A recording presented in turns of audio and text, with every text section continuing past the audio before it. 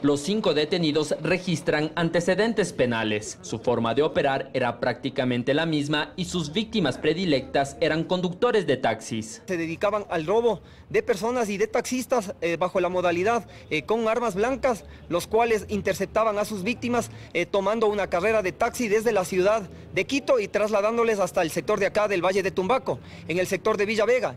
Casi siempre dos sujetos eran acompañados por una joven embarazada. Ella pedía quedarse antes del destino. Luego los ocupantes del taxi llevaban al conductor a un sitio desolado para quitarle sus pertenencias. Utilizaban a una fémina que de igual manera ya se encuentra reconocida y esperamos que en las próximas horas eh, realizar los operativos de localización y captura. Varios robos con las mismas descripciones y características fueron reportados en la parroquia de Tumbaco en los últimos días. Al parecer son familias porque se, ya se verificó en los, eh, los datos, los nombres y tienen parentescos de hermanos, primos.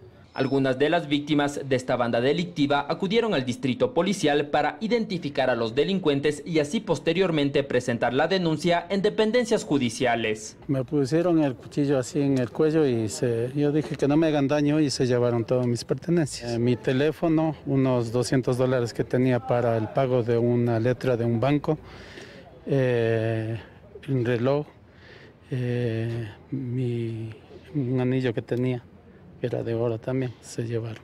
Este testimonio corresponde al conductor de una camioneta a quienes los sospechosos pidieron un viaje por un falso cambio de casa cuando en realidad le llevaron a un lugar abandonado para robarle.